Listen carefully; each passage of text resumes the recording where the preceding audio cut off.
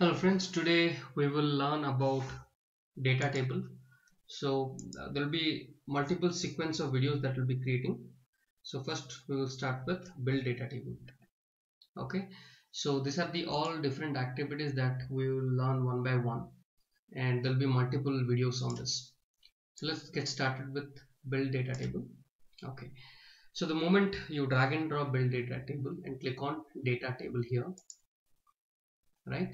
So you see this um, by default you will have two columns created and then there is a text automatically um, you know shown here. So all to start with I'm just going to remove everything and then start fresh. So for example let's say I want to create two things. One is let's say name okay? And that should be string minus one is something so there are multiple values over here okay? One is allow null means um, that field can be uh, can be kept empty okay? Auto increment is something i'm going to show it.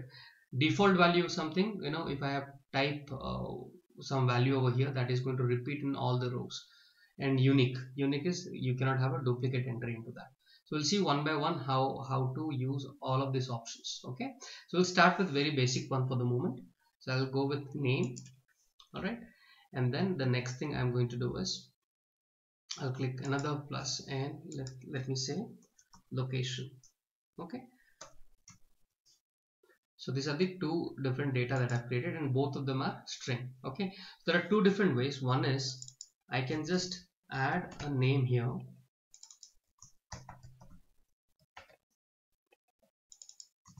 Okay?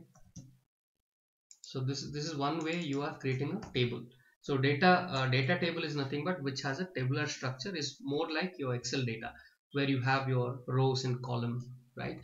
So I'm, I'm creating two different data over here and what I'm going to do is I'm going to store this into an excel file okay? For that I will use write range okay?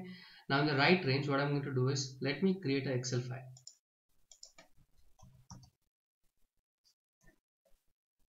okay. And uh, this is blank. I'm going to save this.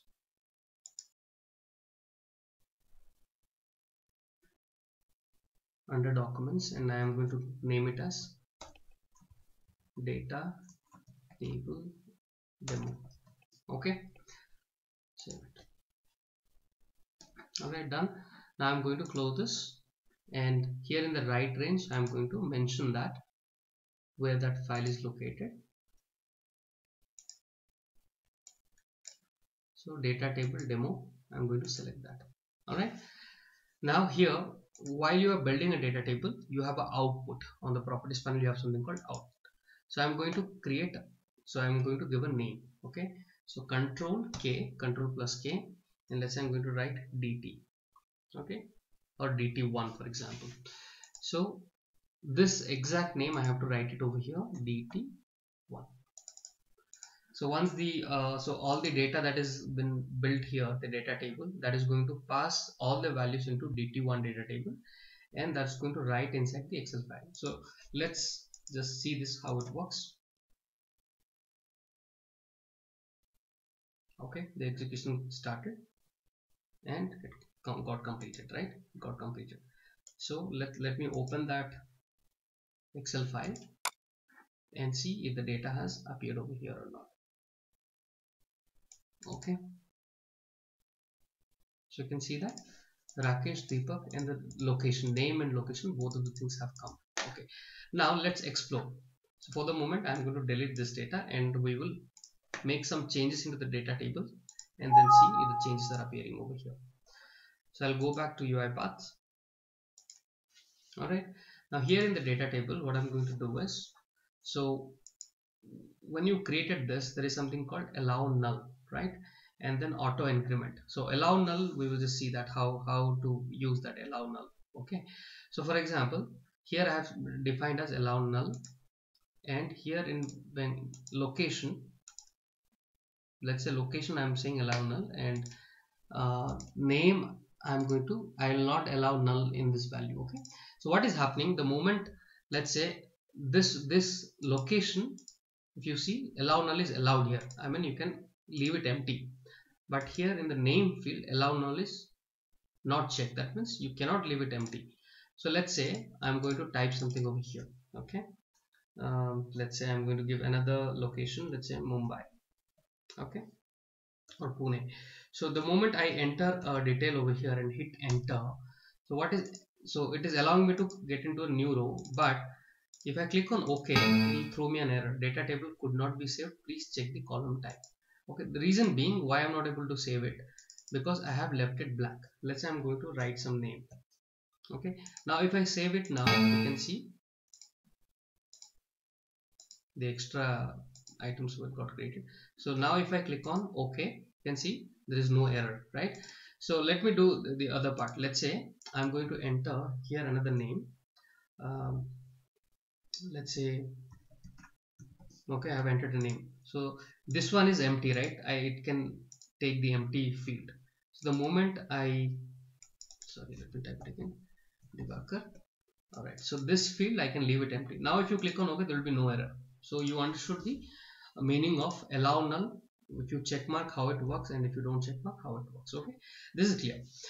Now the default value. What is the default value? Let's see that. Let me show you what is the default value and how it works okay? So for that what i'm going to do is i'm going to create another column and i'm going to give a name. Um, let's say customer id okay? Or id simply I write id so let's say i'm going to um, no, anything which can be typed uh, duplicate times. For example company name okay? So let's say all of them are working in one company right? So the default value i'm going to let's say pass it as abc okay? So what what is the meaning of default value is let me click on ok i can see that the moment i have created all the rows that has got data by default abc has come over here okay? This is the use of default value. So anywhere you feel um, you know that has to be a default value supposed to be there in all the data rows. That's where you'll be using that particular attribute. All right so let me click on ok and run this and see if that is getting saved to our excel file. Okay let me run that.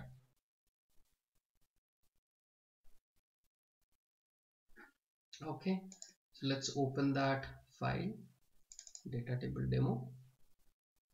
So you can see that all of the data got written over here and this empty this empty field was also accepted because that is how we have set our data table okay now this thing is clear. Now the next very critical thing is auto increment. Okay we will see that how the auto increment works. Okay let me go back to UiPath all right let's say um, I am going to assign let's say I'm going to create another field. And here I'm going to say let's say customer ID okay so I'm going to mention as ID so ID let's say I'm going to keep it as integer 32 okay? And here I am going to uncheck the allow null. It cannot have a empty field and it should auto increment. Okay? So what what is happening? Let's see that. Let me I have selected auto increment. Click on ok. So you understood default value is not something used for auto increment. Okay? Many people has that confusion. Default value is something for assigning all the same data type data to all the data rows. For that for that reason you have to use the default value. Okay. Default value is not used for auto increment. This line is supposed to be very clear. Okay. You should not use default value for auto increment. So let's see how auto increment works. So i've selected auto increment clicked on ok now what is happening? Here all the data is absolutely blank right? Let's say i'm going to start with a number 100 okay. The moment i entered 100 over here because all the data was already entered so the auto increment is not working. So I will manually enter the data for all the data which I have already entered. And starting from the new data one two three. Now you can see now you will see how the auto increment is working okay? Let's say I'm entering another name. Let's say Gopal. Now you can see that automatically the value has come let's say I'm entering this one. Okay you can see that the value has come. Let, let me see let me try. So how do you get into a new row? Just hit on enter over here and you will get another row automatically created. The moment I am clicking on this you can see the number getting automatically added and the default value is also getting automatically added the company name right? So this is how the default value and the auto increment works. So this is static right? This is a static example where I am already predefining inside a table. How can I do it dynamically? We will see that. So let me enter another name. Uh, let's say Dheeraj for example. Okay so we can see that all the data has been entered over here and click on OK. So this is how this is a static way of utilizing the auto increment feature. I'm going to show you a couple of other things. So now see the uh, the execution got completed if I go to data table demo you can see all the data will automatically has come over here okay? So all the data has come. All right so now I'm going to show you another problem that you might face while using the auto increment feature. So what is that? So so in the data table what is happening?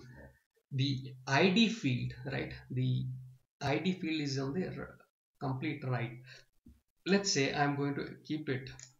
So highlight the id keep the mouse pointer and you can drag and drop and keep it to the extreme left okay? Now the extreme left when you keep what is happening? You know uh, when you you are trying to add anything dynamically right? The data if you would like to add dynamically this won't work. Let me show you that. So i'm going to continue this video in the next uh, episode where i'm going to show you how to utilize auto increment and what are the problems that you're going to face okay? I don't want to make this video lengthy but again i have given you a hint what could be a problem. Let's see that in the upcoming video. Thank you guys